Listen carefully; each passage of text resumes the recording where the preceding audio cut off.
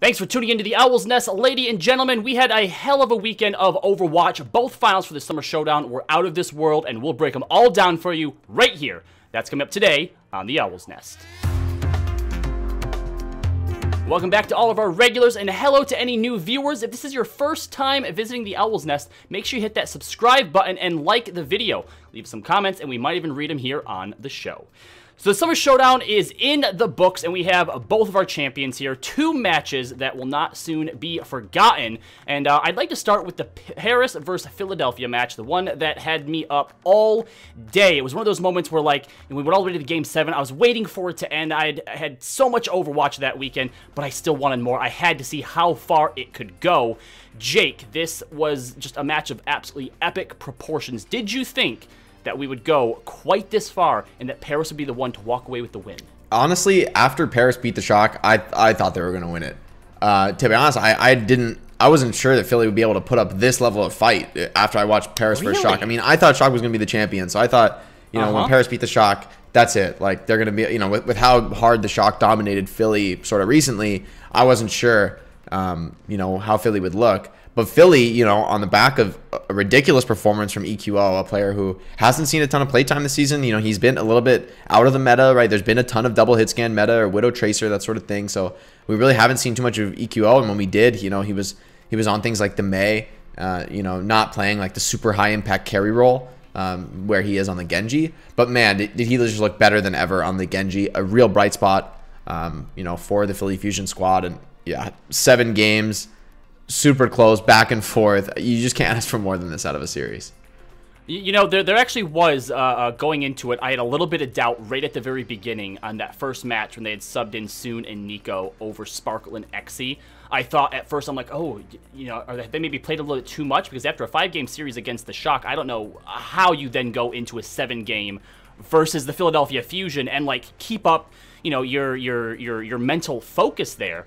But uh, I mean, you know, you, you you had mentioned EQO, and I definitely think that the the Genji was definitely the big narrative here all throughout the weekend. The big Genji plays were amazing. What do you think the edge was that Paris had when it came to Sparkle versus EQO in the Genji matchup? Honestly, I don't think that's where the edge was for the Eternal. Right? I think both Genjis had great games. Uh, mm-hmm. Genji is just not a hero that typically interacts too much with the other Genji. So it's not like a Widow duel where you know dominating the Widow duel usually means that is like a 1v1 that's going your way that's very like 1v1 skill based the genji battle is sort of a proxy war right like you're both mostly focusing on farming the enemy tanks for blade and then when you actually blade a genji is like your worst target because he can not only deflect and, and block your strikes uh, but he can like dash away you know it's very very awkward to actually kill an enemy genji with your blade generally that's not going to happen um, so you're usually aiming for supports first then you know like players like the Widowmaker, the Ashe, like that backline hit scan, uh, and then the tanks, and like your Genji is honestly your last target. So I think both Genjis played well. It's just not a role where it's a role where you're just trying to do more than the other Genji rather than actually trying to fight them head on. Um, so I don't think the Genji difference was really what decided this. Uh, in my eyes, this was the time for the rest of the team to step up, step up because both Genjis had great games, as I said. So uh, it was up to the rest of the team to really make the difference. I think Exe played uh, an insane series as usual. Uh, you know, he had those awkward moments, I think, uh, you know, in the past with the wrist injury. We, we didn't know how long he'd be sitting, but to see him back, and especially alongside Sparkle, they look ridiculous together.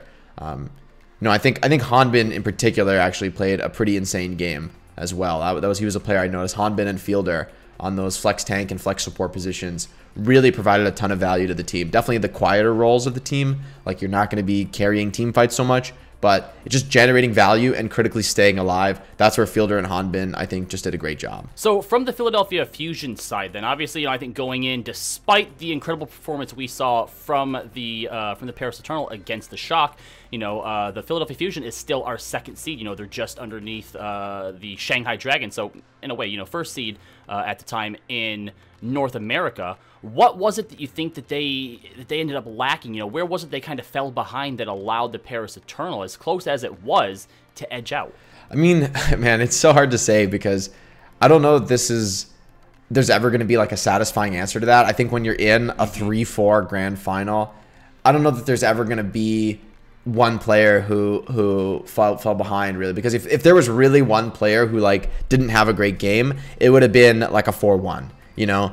Like the Right. fact that it goes that distance and it's back and forth and that the teams are trading maps and it's like i think it largely came down to map choice right? The fact that you know teams are able to get their comfort map pick out that actually has a massive impact. And uh, you know for the paris eternal they were able to convert uh, you know on philly map picks right at, at least one time. So the fact that they're able to sort of flip that momentum was, was kind of what ultimately decides the series and it's like it's almost unsatisfying because the real truth is that there's just a razor's edge between these teams, right? You have to crown one of them the champion, but this sort of series just proves like how incredibly closely matched these teams are. Like if you see them play again in a different meta, all bets are off. Like it's a 50-50 because um, you know, despite Philly not coming away with the win here, I, I think I don't know. For, for just watching this match, I, I felt like these are both really, really top teams. Philly, they didn't slack off. They are still a top team.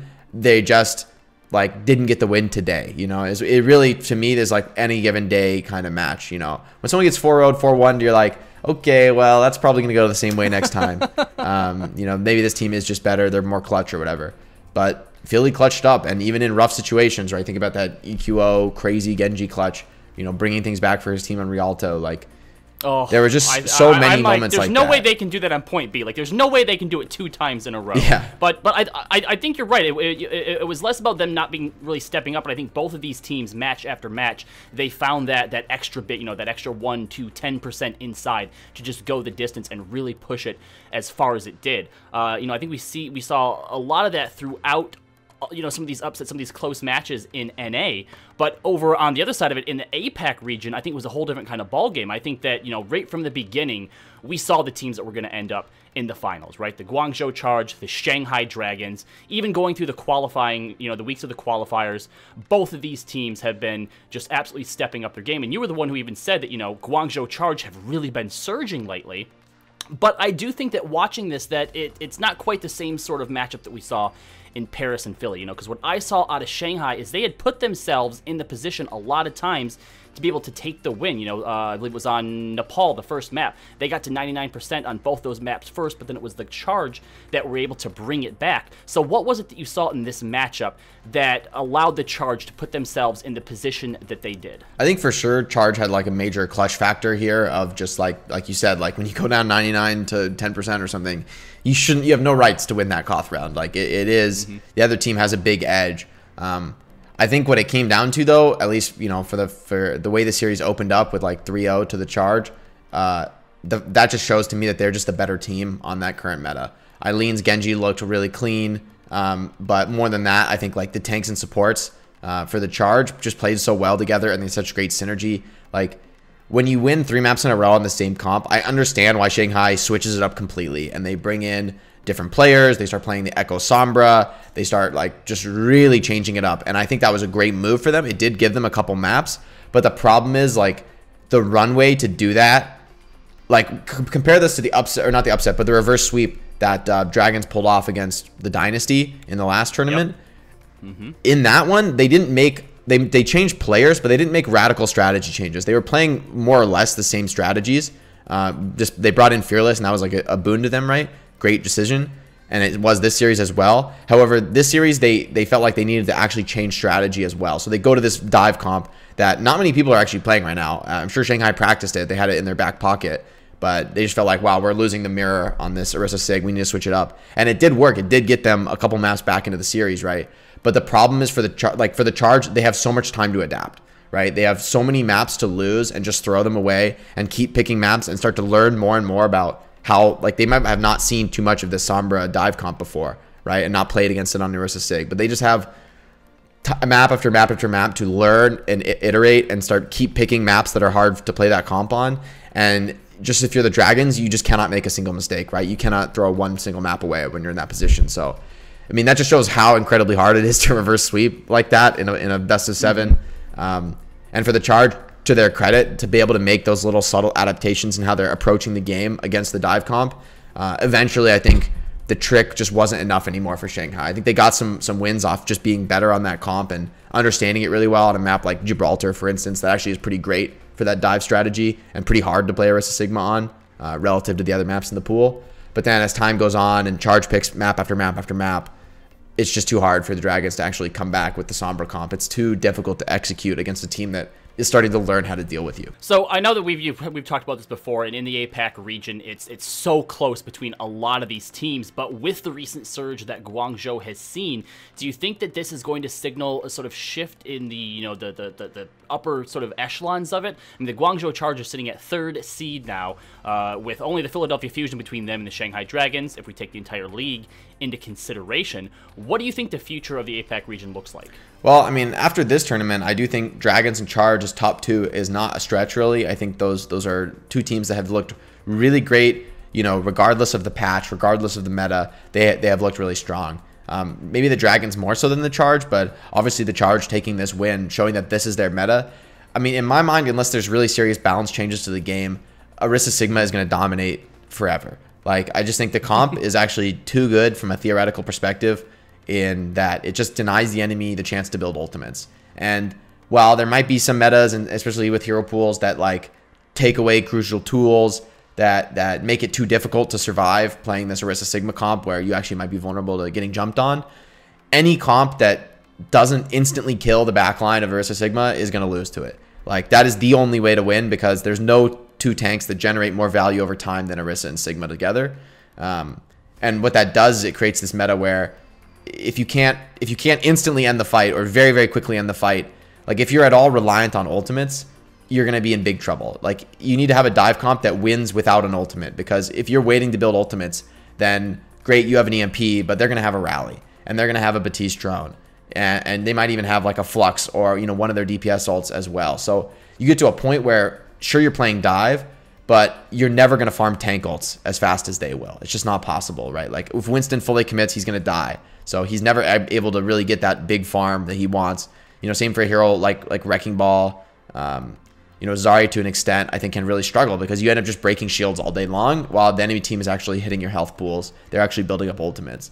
So that theoretical reality that like you're just you're not like they're gonna build ults faster than you is basically the, the game plan of Orisa and Sigma. Uh, they're, they're not going to necessarily end the fight really quick, but they don't care. They're going to get more ults out of every fight than you get, and in the long game, playing the map fully out, they're just going to win with their ultimates. And, you know, sure, you might win some fights here and there, but it's going to be too costly for you to maintain a snowball. And they'll be able to win the fights when there's no ultimates, especially.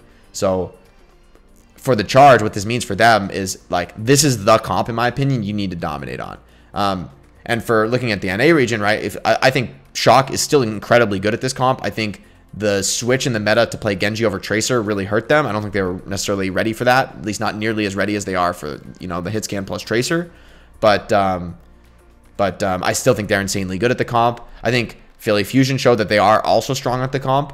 But I think like in my mind, that's what's going to decide this season. Unless there's a real serious balance patch, I think come final playoffs, it'll be Orisa Sigma to, to decide the whole season. So for the teams right now winning tournaments on this meta uh, or having great performances, this is like, mm-hmm. in my opinion, the most important meta to win. Well, and if the Summer Showdown was any indication, we are in for an amazing rest of the season. That's going to be it for us today here on the Owl's Nest, guys. Thank you so much for tuning in. Make sure you check out some of our other videos here, like our last video where we broke down some of the biggest upsets from the Summer Showdown. Otherwise, make sure that you're visiting checkpointxp.com for wealth of other content, video, written, and otherwise. And make sure you're following Jake on social media. That's Jake OW on Twitter and Jake underscore OW on Twitch and YouTube. That's going to be it for us here, guys. Remember to stay on the payload.